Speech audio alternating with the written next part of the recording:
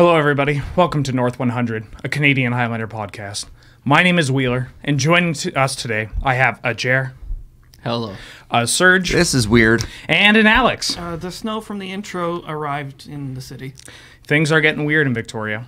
And just a quick reminder, this is brought to y- in part by you, the Patreon. Patreon.com slash loading ready run. If we didn't have you, we wouldn't have this. Uh, and a little bit of business before we hop into things. We just want to remind you that we have the Canadian Highlander 2019 year end World Championship. We need to workshop that name. The top eight. What do we call this? The, The, World finals? Series of Can World, Series. I Yes. don't think we can call it a World Series. We might hit, Well, get hit by uh, just as much as the MLB can call theirs a World Series, we can call ours. All a right. World Either Series. way, it's going to be over at twitch.tv slash loading ready run on Saturday, February the 1st. Ooh.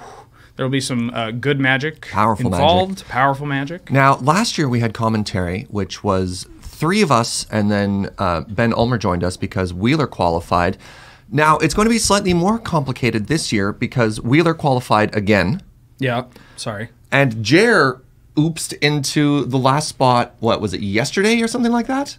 Yeah, something like that. So we're gonna have to we're gonna have to find out how we're gonna get our coverage when we have. I'm two- not in it. Yeah, me neither. Yeah, but we're gonna do commentary and it's gonna be awesome, Alex. We're gonna watch these suckers goof. How many how many Wheel of Fortunes till you die this time? You will be shocked. And actually, no, I might just punk out and play the same thing I always play.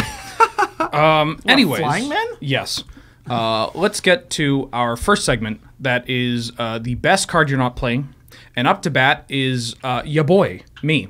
Now I pivoted in what I wanted to pick, and this is a card that feels a bit odd to include as in as many decks as I've been including it in. Uh-huh. Pulse of Murasa. Oh. Uh, Pulse of Murasa is an instant. It costs two and a green uh, that says return target creature or land from your graveyard. Uh, P U L S E O F, and then Murasa. Um, it returns a creature or land from your graveyard Just hold to your on hand. one sec. So you And- can get the It's card ready okay. to work here. We can continue talking about this card while James tries to figure things out or kills us. Well, the good thing about Pulse of Murasa is that the last text is you gain six life, so you won't die. I like this card. Yeah, it's a, it's a it's a good one. It's it's one that has there's a bit of an issue, uh, not just with putting the card art on the screen, but also with blue black decks and certain other blue X combinations. Dying to Goblin Guide. Goblin Guide's a very good card. Uh, it's one of the number one things that gets brought up when people say, "Hey, can I play this?" Sure, it's like can you of live Control?" through red, right? Right. Uh, the answer is usually no, but thankfully we've received a couple of cards in the past, well, I guess now six years, uh, that help us deal with it. Um, cards like It's a Thragtusk, Gatewatch card, isn't it? cards like, well, yes, for the Thragtusk is an older yeah. one. Uh, Oko's a newer one, and Pulse, Pulse is kind of in the middle. But I think the Can you really package call of Oko a life gain card? Like Technically, yeah, it's a it's a that's weird. like calling Tendrils of Agony a life gain card. hey, never, let's, not irrelevant. Let's let's never doubt the short drills. So, I mean, I've done it. but let's go back to Pulse really It quickly is a here. thing that that card does. So you're you're playing a limited instant b- speed regrowth, and the plus behind it is the fact that it gains life. Like, It, ga- well, it doesn't just gain life; it gains six life, and it That's a re lot. and it rebuys uh, anything from any of your lands getting blown up, which one is one of the ways that you can also just lose control mirrors is if you fall behind on lands. sure, Uh, there it there is. it is. Uh, it rebuys cards like Snapcaster Mage, One which of the is pretty important. One of the spiciest lines with this is to cast Snapcaster Mage before blockers, target Pulse of Murasa. If you can afford to do it, you block without casting Pulse of Murasa, trade with your Snapcaster Mage, and then Pulse of Murasa your Snapcaster Mage back. Mm-hmm. That's hot. and rebuying late game too, rebuying anything from again Snapcaster Mages to Vendilion Cliques or Torrential Gearhulks. what are you playing this in? Uh, bug control is my favorite application of this. I hmm. think you could justify it maybe in a rug control as well. Certain landsy mid-range decks can get away with it too. yeah, I've considered playing this in like green black lens shell the rock. Yeah. Like in a meta where it's just like I'm gonna get incinerated. It's it's truly the green timely reinforcements. Are you? wow, exactly that's what it really is. cool. Are you cutting Eternal Witness for this? what? that depends entirely on which build you Yeah. play and how how dense your green is because the single green pip is very important. Mm-hmm. Right? You don't want to uh, mess up a, your mana in a deck full of murderous riders and counter spells. and and also how how much you want to be operating at instant speed. Like a lot of the blue based control decks really don't want to be tapping out for Eternal Witness very Yeah. often, and so the ability to do this inside of combat where you're already sure there's nothing you need to remove, nothing you need to counter.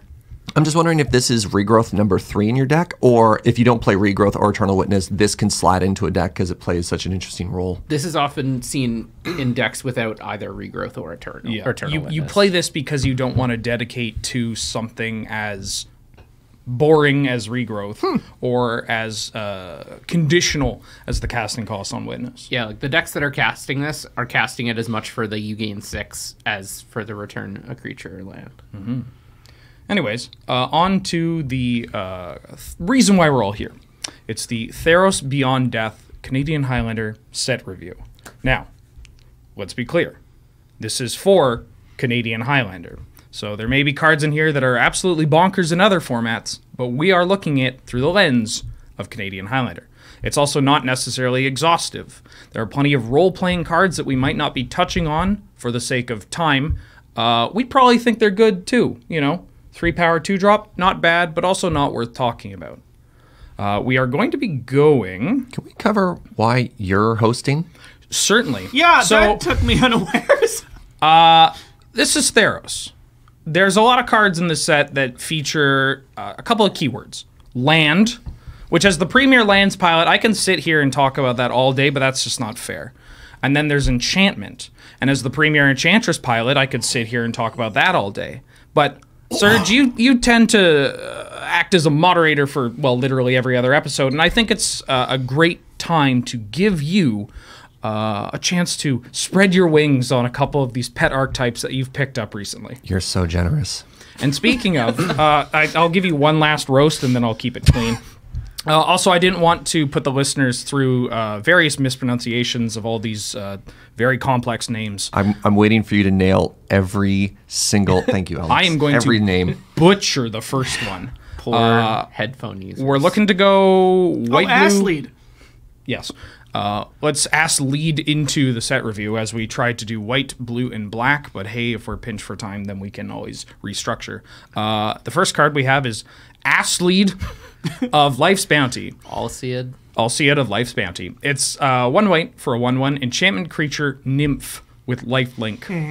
Has pay one, sacrifice Ass Lead of Life's Bounty. Target creature or enchantment you control gains protection from the color of your choice until end of turn.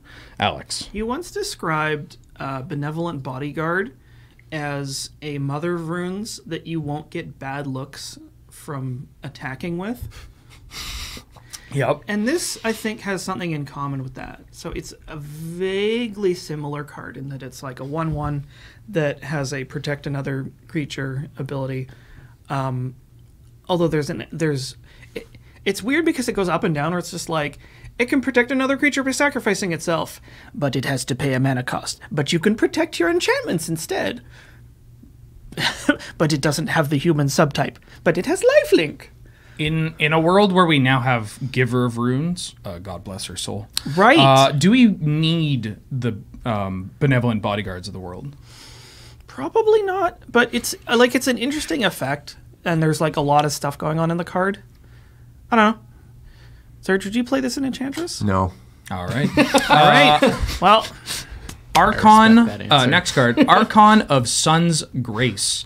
Two white white for a three four Archon creature with flying and lifelink. Pegasus creatures you control have lifelink. Why not? And it has Constellation. Constellation is a returning mechanic that says whenever an enchantment ETBs enters the battlefield, you have a certain effect. This effect is creating a 2 2 white Pegasus token with flying. oh, and it has lifelink, kind of, mm-hmm. maybe. Serge. So the constellation word is why we threw this to me. Uh, are you going to play this as a win con for Enchantress? You know, you slam this down, you make a bunch of like little cantripy plays, you get an army of two twos, you caw them to death, and they all have lifelink. That's cute. I don't think this replaces Sigil of the Empty Throne as as a similar sort of effect of like something big you slam down. Really? And, and my reason for saying that is Archon of Sun's Grace doesn't live through your own wrath. Uh, and one of the advantages to playing Enchantress is how few creatures you play, how much you blank your opponent's removal, and how you can often safely wrath your own board and then rebuild from it. And Yeah, if your win con doesn't survive through your own strategy of, of how you're going to win on that turn, then it doesn't quite work. Hmm. I think this is a cool card. I think it's powerful, um, but it, it feels mismatched in, in how it wants to position itself in a deck. Now, there's been a bit of a community deck favorite, a new archetype of the past year that has been called Sanctum Stompy. Sorry, which what? is uh, looking to play more aggressive enchantment based cards.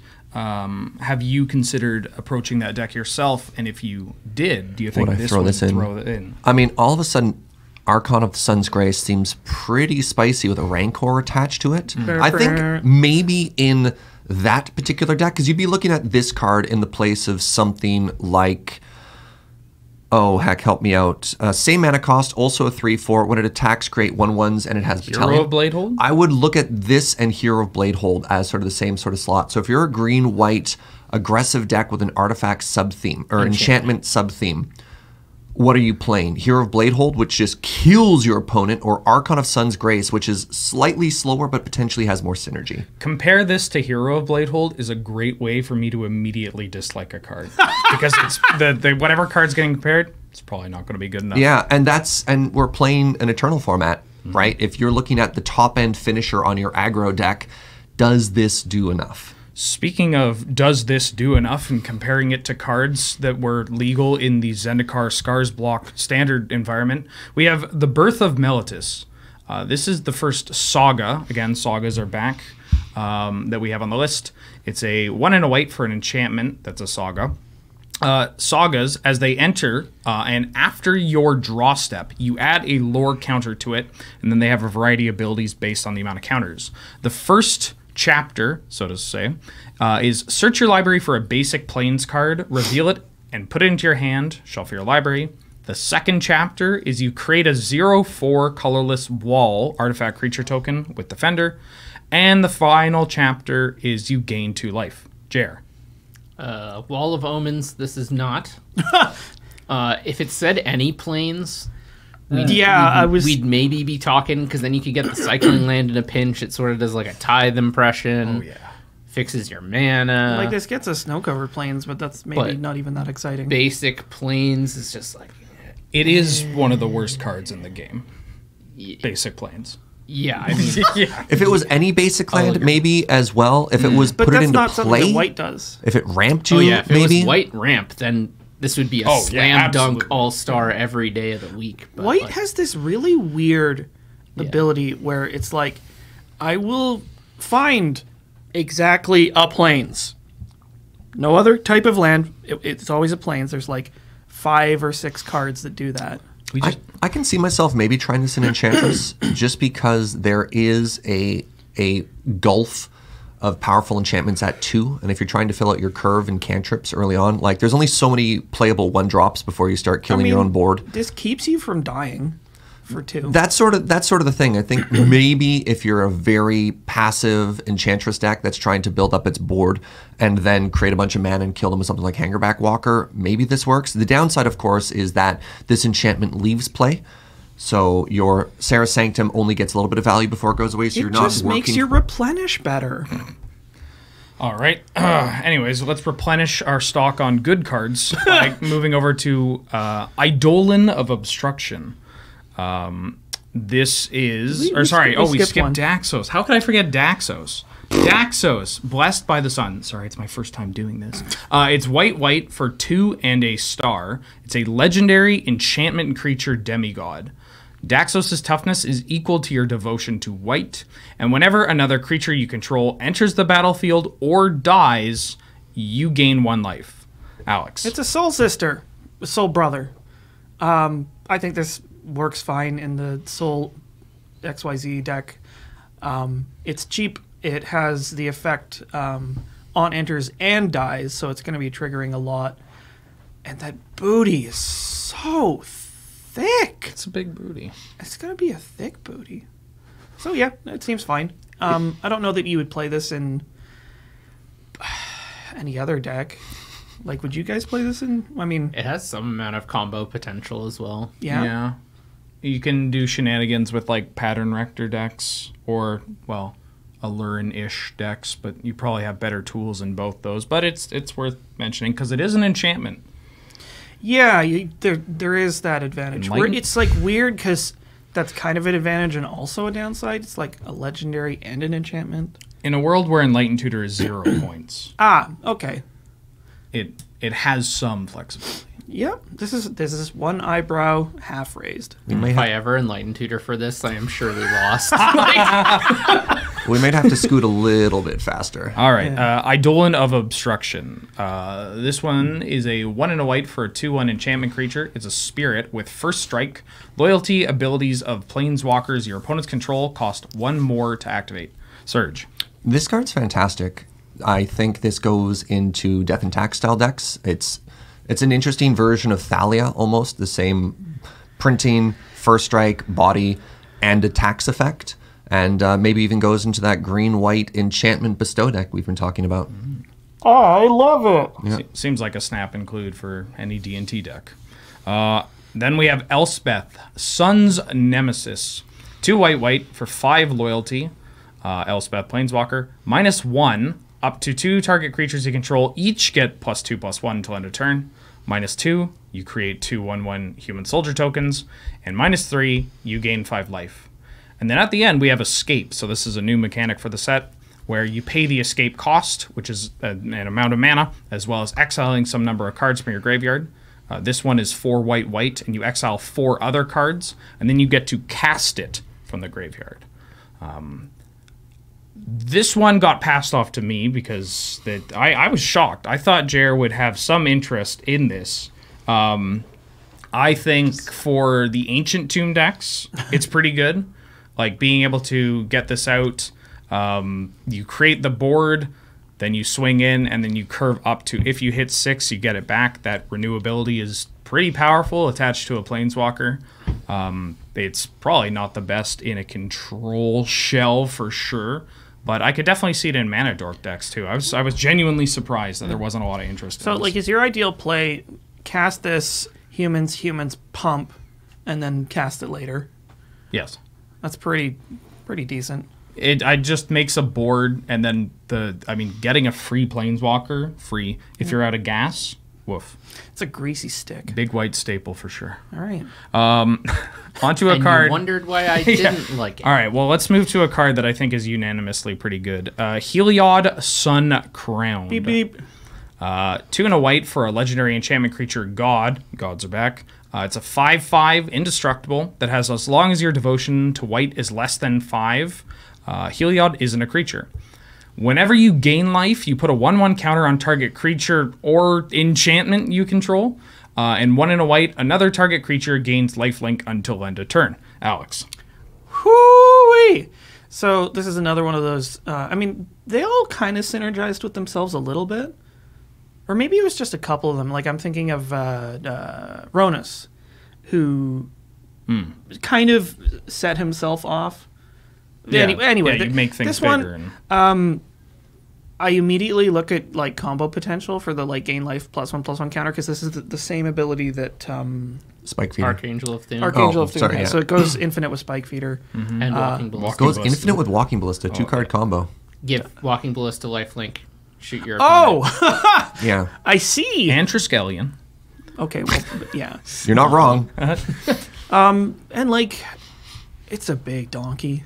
So It's it has it one. has fair application for the like Soul Sister styles decks, as well as a variety of ways to combo with it. You can also just stack itself because it's target enchantment, and if it's not a creature, you can just heap counters on it until you make it a creature. Until it's ready to feed. Yeah, ready Great. to ready to like drop the elbow. Uh, speaking about dropping bows, uh, Taranika, a Crowan veteran. One white white for a legendary creature, human soldier. It's a 3 3 with vigilance. And whenever Taranika attacks, untap another target creature you control. Until end of turn, that creature has base power and toughness 4 4 and gains indestructible. Alex. Whamma llama. Um, so I had to check to make sure that this card worked the way I wanted it to. It does. Um, you want to be targeting another attacking creature, so you crack in for maybe seven or more, and you give sort of retroactive vigilance to another creature. Um, that's a lot of power for three mana. It doesn't rewrite other keyword abilities. So, say your creature is a 1 1 with double strike. Or, you know, mm. counters. Mm. Mm. Yeah. It has Anything like that. equipment. Yeah, it's um Y'all are thinking much bigger. You than what thought I blocking swords was difficult before. Try blocking it when it's a six, I saw this was like, oh, cool. You can cast something off a mana dork and then untap it and cast another thing. Maybe. yeah, that is that's uh, also cool. but yeah, I mean, sure, Like making it a- ramps. yeah, it ramps. Making making a four four double striker that's indestructible. That's good too. Yeah, not bad. Yeah, this is just like so much power crammed into a tiny mana cost. This goes in every aggressive white X deck. Yeah. Dying to Bolt and Karakas though. I Me me me me me me. me. I gets the seal of approval. Uh, Transcendent Envoy is our last white card. Uh, this is a beautiful griffin. Uh, it's a one and a white for a one-two enchantment creature, griffin, that has flying, and says aura spells you cast cost one less to cast. Caca. Serge. I think this goes exactly in that bestow deck that we were talking about. I don't think this has much of a home otherwise. If you're an aggressive white based aggro deck, you're typically not playing enough auras to actually get value off of this. I mean, Rancor doesn't even have colorless in it. And Well, you also explained earlier that for the exact same reason, um, this doesn't live through your wraths in the uh, well, you don't play enough you don't play enough auras in Enchantress right to make auras this kind of specifically being Yeah. ones that go on stuff. Yeah, and there are some enchant permanents that would count, but I, I think this only has a home in that deck, and that's it. Can you go infinite with words of wind and like fertile ground and like an idol like an eidolon of the blossoms? Maybe this is too much. Okay.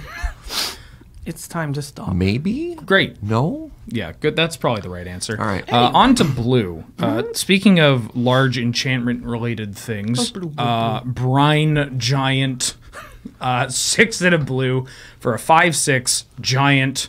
Uh, this spell costs one less to cast for each enchantment you control. Serge.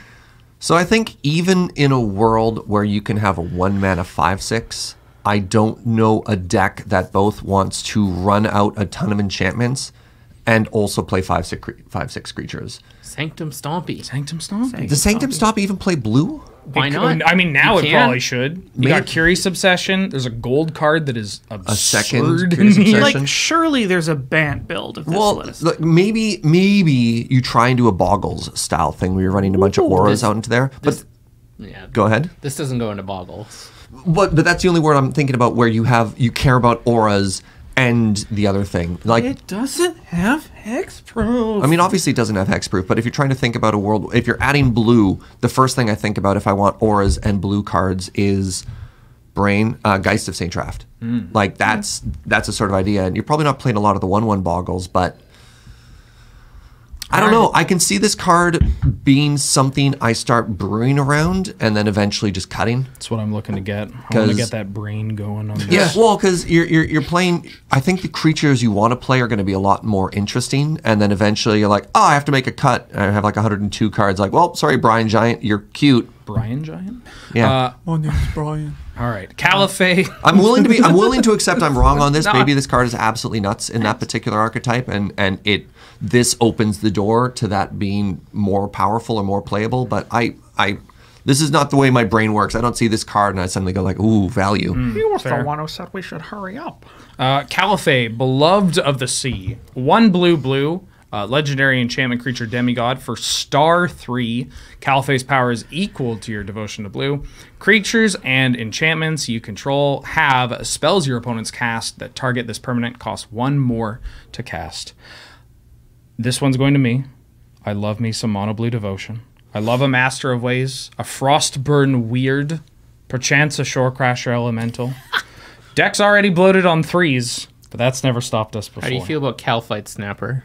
Oh, I love it. It oh, it's a one four with shroud. Uh, okay, wizards.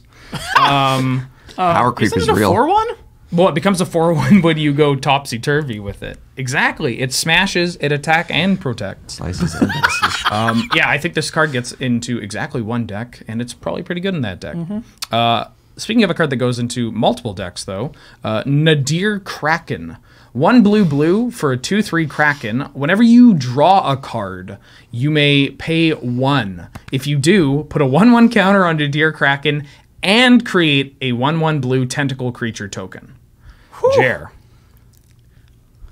Yeah, this card's pretty good. uh, it's been a while since we got since we harken back to Managorger when the last great George. great uh, Miracle Grow cre- creature was printed. This one I hope gets into the same tier. Uh, the fact that you have to pay mana, not ideal, but the fact that you get to go both wide and tall is is quite a large large game. This doesn't start as a one-one, which I think is probably one of the biggest upsides from the Miracle Grow creatures. Is you actually get a two-three for three instead of a one-one I for mean, three. also because it's it triggers on draw a card, you will get opportunity every turn. Right? What do you mean? Yeah, on your well, uh, on your draw. As, as step. opposed to like yeah. um, grow creatures that rely on casting spells. Yeah. And I mean, even stuff like tapping a Jace Vryn's Prodigy, you can get as ambitious as Jace the Mind Sculptor. It's not bad. Sylvan Usually- Library, yeah, the usually classic. you have to pick tall or wide, and this just gives you both. Well, and that's that's that's why Managorger is so good because it has trample. So like the Oh, fact that it goes tall, you can't get chump blocked. But the fact that this goes big and and wide. Yeah, like upkeep, trigger my um, library, pay three is kind of disgusting. Yeah, that's a little gross. Okay. All right, uh, now we're going to a new segment. It's called Speed Review. We have Omen of the Sea. Uh, one in a blue, enchantment, flash. When it ETBs, scry two, then draw a card. Two in a blue, sacrifice Omen, scry two. Serge, Maybe- yes or no? Find an enchantress. Yes, and control. You like this for control? Yeah. All right. Well, we had more to talk about. Then. I Keep going, keep going, That's kind of interesting. That's kind of interesting. All right. Uh, Sage of Mysteries. Uh, one blue for a zero two. Uh, Constellation. Whenever an enchantment enters the battlefield under your control, target player mills the top two cards of their library into their graveyard. Uh, it's also a human wizard. Serge. Maybe if you're trying to set up replenish. Would you like it if it was a crab? of course he would. It's basically Enchantress Hedron Crab. So It's your both your favorite archetype and your favorite card of all time, all melded into one. Just let them think about that one. All right, I need you to help me out really quickly with one particular card, one mana artifact. I know we said we were the speed round. Um, and every time a permanent enters the battlefield, a, a player mills Altar a of the card. Brood. Yeah. Altar, go with me on a journey here. Altar of the Brood, Sage of Mysteries, Enchantress. Seems like a stretch.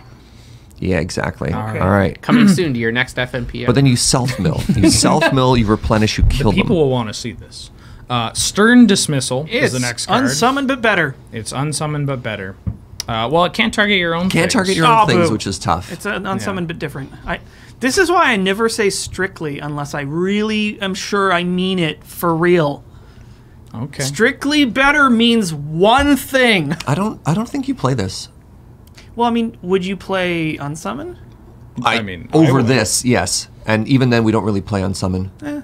In Speak tempo for decks. yourself. Yeah. All right. Uh, Thassa Deep Dwelling, three in a blue for a six-five legendary enchantment God with indestructible. As long as your devotion to blue is less than five, Thassa is not a creature. At the beginning of your end step, exile up to one other target creature you control, then return that card to the battlefield under your control.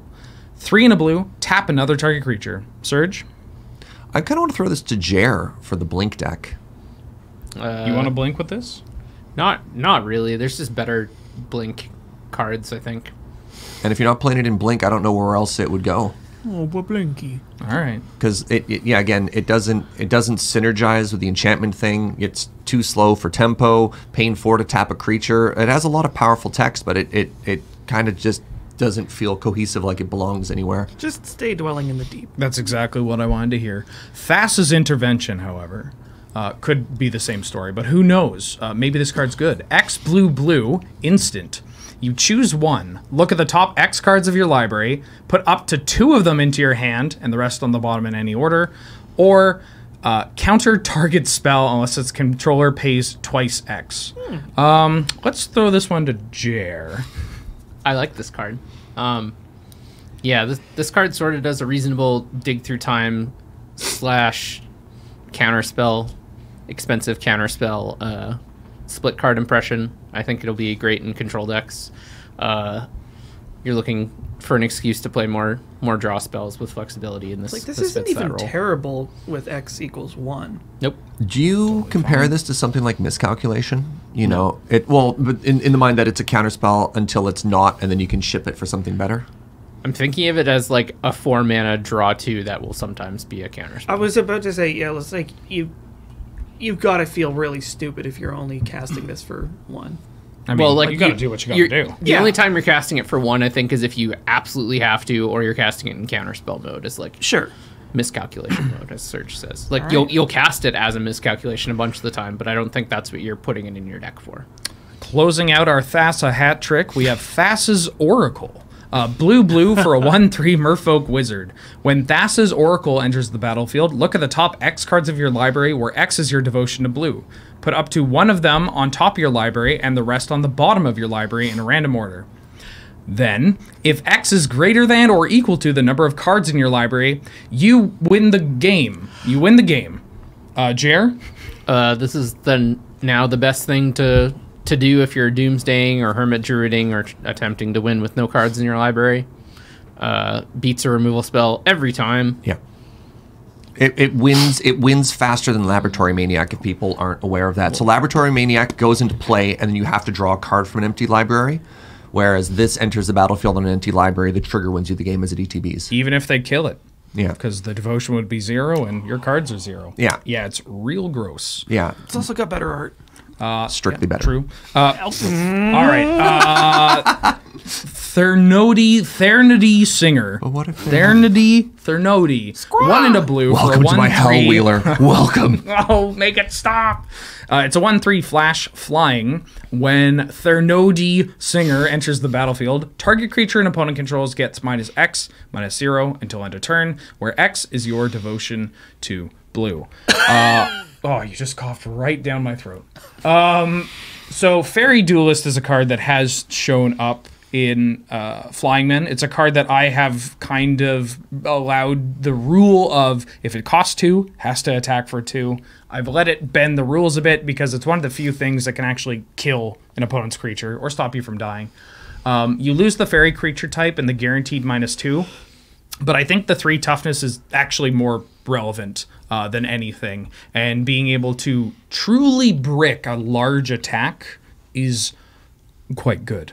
Um, Flying Man's a deck that poops out a lot of one ones.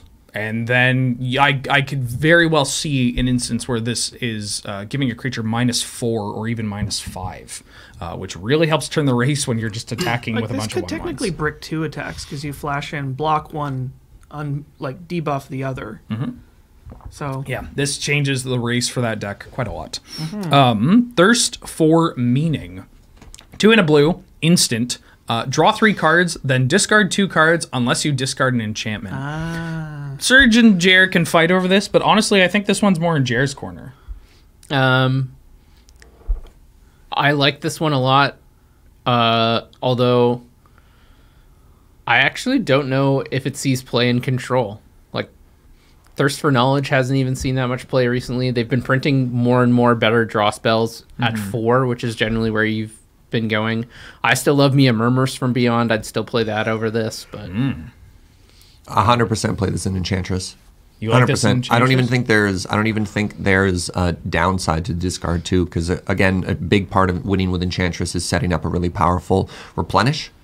Yeah. So you're like, oh, cast pitch omniscience, GG. I don't know. I mean, that's magical Christmas land, but Pitch omniscience and overwhelming splendor. Yeah, cer- certainly is magical. Yeah, you can choose relevant for this card and thirst for knowledge. You can choose to discard two cards and then discard two enchantments. Technically a modal spell. Yep. Um, Thryx, the sudden storm. Three blue blue for a four five legendary creature that's an elemental giant. It has flash, it has flying, and says spells you cast with converted mana cost five or greater uh, cost one less to cast, and they can't be countered. Yikes. Uh, Jer? Did you convince them to print this card for me? like Ben Ben always jokes that I play too many dumb, stupid five drops in my blue decks. And now I'm gonna be playing this more. this one I'm uh, this one I'll side with you because I definitely read this and go, oh, they can't counter my Sphinx's rev. Finally, you don't even have to leave up protection for your, your bombs anymore. yeah. yeah, this is dumb. I mean, and relevant, you can leave up protection for this. In that, if you cast this with five mana and a Karakas, you play this end of turn. They try to kill it. Whoops, back to hand Why does it have flash? because it's lightning. Yeah, when I He's saw it Naruto flash, running. I'm like, and it's sudden. I almost didn't read the rest. I was just like, yeah, this card's All amazing. right, let's let's move back to something that's a little more tame. Uh, Wavebreak Hippocamp. Uh, two, two and a blue for a two-two enchantment creature, Horsefish. Love it. Uh, whenever you cast your first spell during each opponent's turn, draw a card. Serge. I don't think it is an enchantress. Uh, if if that's I mean if we're throwing to me for the enchantress thing, I when I look at this card, I think of something like a young pyromancer deck. So a fairly cheap deck. You want to be having a lot of spells. The majority of them are instant speed because of course whenever you cast the first spell during your opponent's turn, doesn't work for you. So you need to be playing instants to get value out of this. This makes opt so good. But that being said, it is a gray ogre. It's a three mana two two. It's hard to protect. Uh, two toughness is very tough. It's not even a good blocker. So, how much do you value a draw engine in that particular deck, and how much are you willing to invest in trying to protect it? Fair. So it's it's tough. It might see a home in that particular style of deck, but even then, it it, it runs the risk of being a liability. All right. Uh, Whirlwind Denial. Two and a blue for an instant. For each spell and ability your opponent controls, counter unless its controller pays four. This is going to the Jer, and if you cannot, uh, you're not watching the video. Uh, Jer was nodding uh, throughout the entire thing. Is this a big yes or just a small? Oh, this yes? is a this is a large large yes. Yeah, this card is getting uh, getting like utility stifles is something we've been seeing a bit more of. Tale's End was the last one. Not a fan of that one. This one, huge upgrade. Oh, and ability. Oh, yeah, yeah, Yeah. You can Yeah. cast it on a fetch land. So you can, f- Bloodbraid Elf, forget about it. Emrakul, the Promised End, good Yeah. night, so, So long, see you for- later. tendrils. Well, this works for um, triggered and uh, activated, huh? Correct. Yep. So here, th- let's make it as clear as possible. Judge, my opponent is storming out and about to kill me. Tendrils on the stack, and there's like forty thousand copies of it. What do?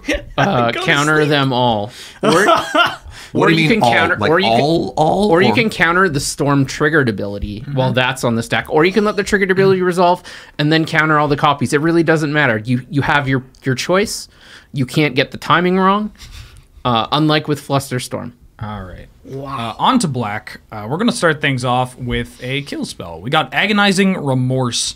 Uh, no, it's not. A kill spell. This is the discard spell. One in a Classic black. kill spell. Uh, sorcery. Target opponent reveals their hand. You choose a non-land card from And it. kill it. Or hey, you kind of kill it. Or a card from their graveyard. Ooh. Uh, so they reveal their hand, pick a non-land from that or their graveyard. Uh, exile that card. You lose one life. Alex. I missed the line about or their graveyard. Mm-hmm. Um, I was looking at this as uh, there's a handful of two mana um, hand attack spells that get into like the really discard heavy decks like Pox or I don't know Eight uh, rack. eight rack. Um, but being able to nug something in their graveyard uh, gives us a lot of extra utility. So it's just like Thoughtseize or just like It gives it endgame play, whereas typically if you draw a hand attack very late in the game, it has fewer targets. But maybe I don't know. I don't. I don't like this. Two mana for hand attack is a lot. relevant that if you see their hand and you like if you're going for a card in their graveyard, you still get to see their hand. So that's a lot of And vice information. versa. And exile is Yeah, kind of chef's Well, and, kiss. and a bunch of the time when you hand attack them, you're like, "Oh, coast is clear. Like I don't really care." So if they have a relevant thing in the graveyard, you can take that instead. I, I actually think this card is decent. Seems Uh, alright. Aphemia, the Cacophony. Uh, one in a black for a 2 1 legendary enchantment creature Harpy flying. At the beginning of your end step, you may exile an enchantment card from your graveyard. If you do, create a 2 2 zombie. Alex? I'm gonna play this as a two one for two Great. that has flying. Great. I don't know how I'm gonna get zombies, but we'll figure that out later. Sarcomancy. Rancor. There is a version of Enchantress that is similar to the Bestow deck that I've thought about for a while. Uh, somebody help me out. The old five mana Theros constellation. Doomwake Giant. Doomwake Giant. Get him. That sort of is built around that. So you are aggressive, you are kind of controlly. Um, and I think this would have a home in there. And I have so apparently the next season of Friday Night Paper Fight is just going to be nothing, nothing but Enchantress. Important for Doomwake Giant. So five mana, four six. Enchantment creature giant. Whenever Doomwake Giant or another enchantment enters the battlefield under your control, creatures your opponent control get minus one, minus one until end of turn. It's one sided. So those, I think those cards fit in a very neat deck with each other. All right. Uh, Discordant Piper. Uh, two mana, two one zombie satyr. When it dies, create a zero one goat token. I want one word answers. Jared, does this go in aristocrats? Sure. Great. Alex, does this go into zombies? Yeah. All right. Well, that's two for two. I have bad. one question. Where does the goat come from? He's calling it with the pipes. Yeah. Oh, good. He's pulling it out his nose. Those are just Those are two come legs. yeah. Uh, drag to the underworld. Th- Oh, that's the kill spell I wanted. Two black, black, instant. Uh, this spell costs X less to cast, where X is your devotion to black. Noted it's only the cull list that gets reduced. Uh, destroy target creature. Alex. No, no, no. Um, it's uh, this seems fine. Um, it's. I compare this to um, what's the one guy is like? Oh no, my neck. Uh, Go for the victim throat. of night. Go for the throat. Victim of night. That's the one. Oh, Victim Okay. of Night. Um, Because that one kills almost anything, but the almost is relevant more often than you think. Because uh, Victim is black, black, instant, destroy target non vampire, non werewolf, non zombie creature. There's not too many werewolves, but there's a few. There's not too many vampires, but there's a few, and there's a decent number of zombies. So this has some blank spots. Whereas Drag to the Underworld, even if you fa- pay full price, which is unlikely unless your board is completely empty, um, it's going to kill anything. Great. Uh, eat to extinction. Three and a black. Exile target creature or planeswalker. Look at the top card of your library. You can put that card into your graveyard, and it's an instant. Jer? I like it. Great. Uh, do you like this more than cards like Vraska's Contempt? Uh, I think it's little dependent on your, your deck, the meta. Uh, this I think gaining two life is usually better than Surveil one in the more controlly decks, but this is easier to cast. So I hate the art. Why are there so many teeth? Erebos, bleak hearted. Uh, three and a black for an indestructible legendary enchantment creature, God. It's a 5 6. Uh, has the whole devotion to black, less than 5. It ain't a creature. Whenever another creature you control dies, you can pay 2 life. If you do, draw a card. One in a black, sacrifice another creature. Uh, target creature gets minus 2, minus 1 until end of turn. Alex. I am going to kill myself drawing too many cards with this. You know it's a May. I know, also but it's right there. also goes infinite with a bunch of stuff. Yes, Yeah. this also does go infinite. You're very close to being able to create some infinite loops on aristocrats with this. if you can gain back enough life off of your blood artist Or or, Sandy B. Or Sandy B. Sandy B. Yeah, I mean, like the opportunity cost. I mean, it's just life points. Um, anything that doesn't cost mana that's going to get you something is pretty hot, and drawing a card is pretty hot. Also, just like you know, being able to turn your creatures into uh, whatever spell does uh, minus two, minus one, pretty good. Great. Pretty good. Uh, Erebos' Intervention. X and a black for an instant. Target creature gets minus X minus X until end of turn. You gain X life. Or exile up to tw- twice X target cards from your graveyard.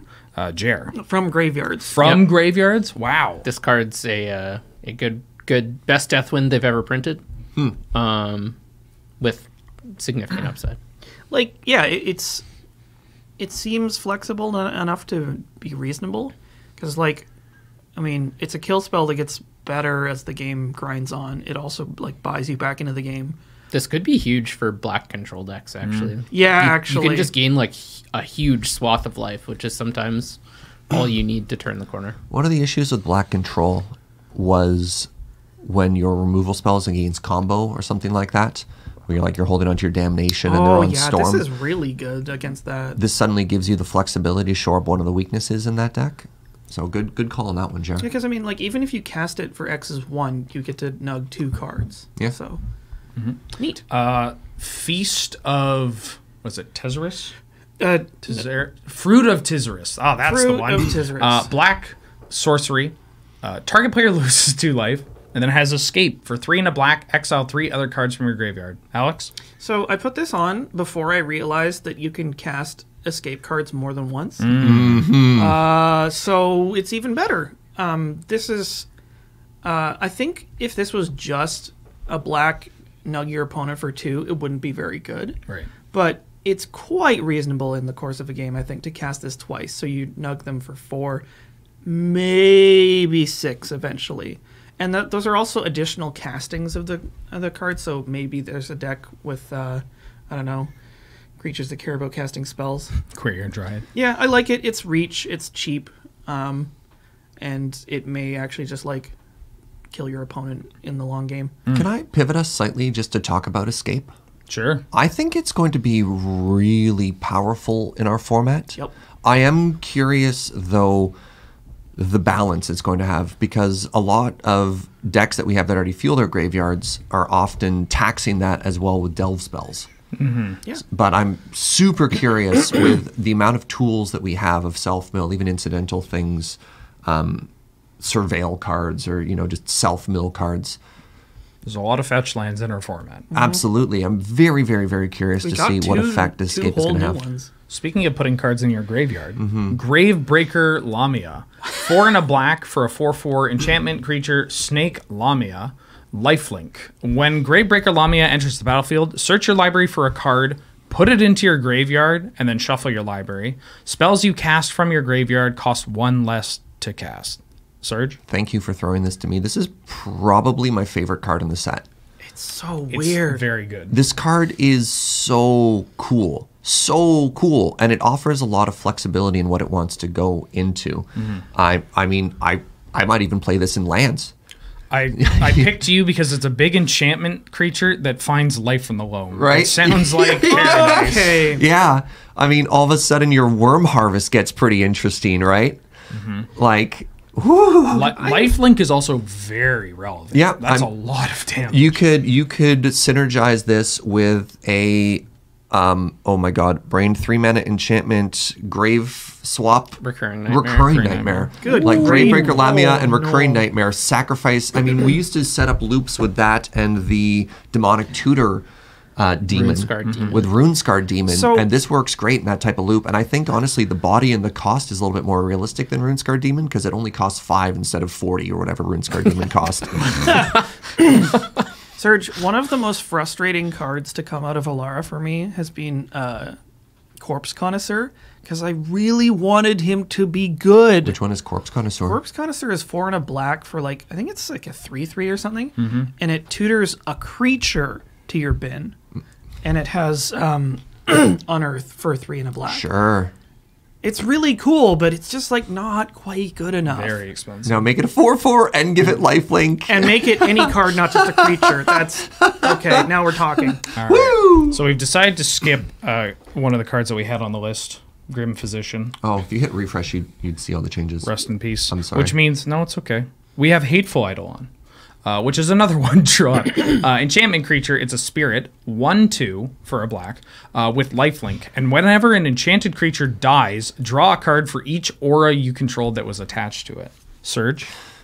The only part of this card that's very interesting for a potential inclusion in the deck is the fact that it doesn't have to be a creature you control that dies. So if you play a deck, an aura deck, where the majority of your removal is aura spells, so there's a bunch of ones, um, one man enchantment, enchanted creature gets minus two, minus two. Dead weight. Dead weight. Like if you are dead weighting your opponent's boards, board, this becomes an interesting draw engine. Deadweight Storm. Similarly, if you're not using it for removal, if you put it on your own creatures, it does negate some of the downside to having your own enchanted creatures dying. So it's fine. I think you could reasonably have a slot for this in that uh, probably Abzan style aggressive Enchantress deck. Also, the fact that it has lifelink, if you throw Rancor on this, this becomes a pretty real threat. like beep. a 3 2 trample lifelink, that when it dies, you get Rancor back and an additional card. That's a little scary. You're like, I mean, that that seems pretty sweet. All right. Uh, now up to my favorite card of the set, maybe, uh, which is an odd thing to say about this. Mire Triton. Uh, one in a black for a 2 1 zombie merfolk with Death Touch. When Mire Triton enters the battlefield, you put the top two cards of your library into your graveyard and you gain two life. Alex? I love her. This card's just good, like top to bottom. It's it's cheap. It's two uh, relevant subtypes, a keyword, and it does two things you want a card to do for free. Everything is relevant on it. The whole thing, it's just good. It's just good. I mean, it's not you know, the most exciting thing. no, but, but, it just does tons of stuff, like All right. in decks. All right. Uh, speaking of good and exciting, uh, Nightmare Shepherd. Uh, it is two black black for a 4 4 enchantment creature, demon, uh, with flying. Whenever another non token creature you control dies, you may exile it. If you do, create a token that's a copy of that creature, except it's a 1 1, and it's a nightmare in addition to its other types. Jer? This card is really, really good. Yep. Uh, I haven't decided exactly what I'm gonna do with it, but it's gonna be something, and then probably a different thing, and then probably another different thing. So This is really, like, this is kind of disgusting. yeah, When it gets insane. going. Like my brain immediately goes Spellseeker. So many spell Yeah. seekers. Get Spellseeker. Palace Jailer. Oh. uh, let's move to uh, some nicer things than this nightmare. Uh, Tymaret calls the dead. Timoret calls his mom. Uh, two in a black for a saga. You said Uh, nicer. Yes. Um, this saga has three chapters. The first two are exactly the same. You put the top three cards of your library into your graveyard. Then you may exile a creature or enchantment card from your graveyard. If you do, you create a 2 2 black zombie. And then the third and final chapter is you gain X life and scry X, where X is the number of zombies you control. Alex? Maybe. Really? Um, I compared this to um, the there's a there's two enchantments that make zombies whenever you attack your opponent. Do you know the ones I'm talking about? Uh, Curse, Curse of the Dis- Shallow Curse of Graves Shallow Graves and yeah. Curse of I like how we went for With different, ones. ones. Yeah, um, and that one might be making a zombie every single turn. Hmm. However, it does mill you Hmm. six overall, and then it gives you a little like life pump. So I don't know. I I have no idea how to assess sagas. They're weird. They're very weird and like This, so I have I have mixed feelings on this card as well because it's not sexy. You you What? Have you seen the art? but no, hold on, hold on. You you yeah, you, way to body shame. you almost Serge. want you almost want like the third chapter to drain life instead of deal uh, deal damage or something. Like it, it just feels it feels as though there's one little bit missing that makes this card. You're like, You know ah, what it's it is? It's a scratch and win ticket where you're like 10,000, 10,000. You get to play again free. And you're like, oh, I won, but I don't care. And I mean, if you evaluate it just from the fact that it is four power and four toughness for three mana and a bit of an upside, but it's spread out Slow. But it's so Yeah, slow. slow. It's spread over so many turns, and that and that's why it's hard to look at because you're like gray ogre. You're like okay, second gray ogre. You're like okay, gain some life and scry. You're like not really relevant for an aggro deck, but I guess I'll take this free life and card selection. I, I think all these abilities are pretty relevant for zombies in particular, because zombies Yeah. isn't a traditional aggro deck. It's if anything, it's, kinda more like a mid-rangey, mid-range. like aristocrats deck. Yeah. Try it out, see for yourself. Uh, speaking of Timoret or Timerit, Timerit chosen from death. Hello! Uh, black, black, legendary enchantment creature, demigod. Uh, it's a two star. Uh, has toughness equal to your devotion to black. Uh, one in a black. Exile up to two target cards from graveyards. You gain one life for each creature exiled this way. Alex? I think I like this card um, because, as we mentioned earlier, like um, with the new mechanic of escape coming in, people are going to be utilizing their graveyards even more than they already are. So incidental graveyard hate might be at an all-time good. We've come a long way from Withered Wretch. Yeah, like this is Withered Wretch only super. Yeah. It doesn't have the zombie subtype, but like that booty gets real big, and you can gain life. It's gonna like balance you. This seems sort of like more on the controlly end of black cards. Like it's not particularly aggressive. Um, it's just gonna be able to block until the end of time Right. and keep you in the game. All right. So- speaking of blocking for the end of time and keeping you in the game, we got Woe Strider closing out the, our review. Two and a black good. for a three-two horror. When it enters the battlefield, you create a zero-one goat, sacrifice another creature, scry one. It has escape, so three black black, and exiling four other cards. You may cast this from your graveyard. And when Woe tr- when Woe Strider escapes, it escapes with two one-one counters on it, coming back as a five-four. Uh, Jer. This is a bit of a weird card, but I think it's actually pretty good. Uh, It's just a lot of value wrapped into one card. You get a free Yeah. goat. Yeah, you get a goat. You get a free sack outlet. This just keeps coming back. This card's Yeah, it's also it. it's also another free sack outlet at three mana, which is pretty like reasonable. pretty good. anything. It's not legendary, which it's seemingly every other playable three mana sack Yeah, outlet. we can't- They just stapled legendary to it. So Yeah, we can't emphasize enough how much like no mana cost or like tap ability sack outlets are good. yeah, value. they're just quite good. Especially right. Scry one, like Viscera Seer, the just sack. Sometimes you're just like, man, I just want to Yeah. sack my board to Scry. Yeah. kill the self, find a threat. Kill the self, find a threat. Da-da-da. Well, and this one you get to you get to Scry two at least. We'll Scry one twice at least that's a good because you get a goat. to close on, I think, because we did woob. Uh, if we miss something, if you feel like we missed something, please uh, comment down below about any specific card. But now we are moving on to uh, one of our featured segments. It is powerful magic. And we have Jer up to bat. Jer, what you got? All right, so I I promised my opponent from this one that I would I would say it. I actually have two from the same opponent coming up soon, so my next one will be the next one. But this was at the most recent double up, uh, which is a little while while ago now, uh, December. Uh, I was in the 2-0 bracket and I was playing Death and Taxes. Uh, I opened up my hand. I won the die roll. I had a pretty pretty good hand. Uh, it had a mana crypt, but most mana crypt hands, if you're like, oh yeah, I'm gonna win this game, I was like, my hand's pretty good, but like I could. It was a mana crypt hand, but I could lose. So I I played my planes. I put my mana crypt on the stack, and I knew my my opponent's known blue mage. I uh I so I like was like, does this mana crypt resolve? And he kind of tanked a bit, and then he's like, I'll respond. And he just throws an island, and then he says, I'll cycle. And I'm like, are they cycling Street Wraith? Like, what's happening? Because I was on the play, they had no lands in play. And he throws an, a tapped island and hieroglyphic illumination into the graveyard. And I was like, uh, and this is a competitive event. So I was like, uh, judge? Uh, and Nelson comes over, and my opponent just like starts laughing and shaking their head. Yeah. and I had no idea what was happening.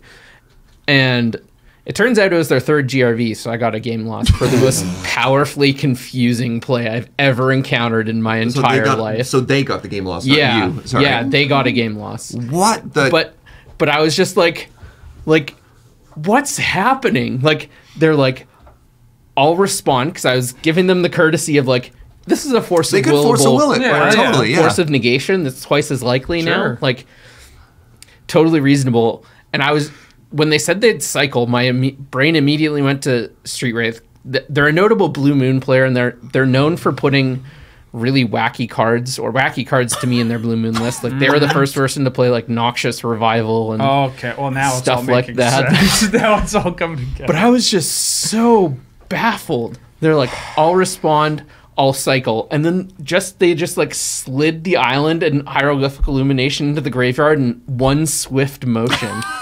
and I was just like it like took me like five seconds to just comprehend what happened. what am I seeing And I was right just now? like,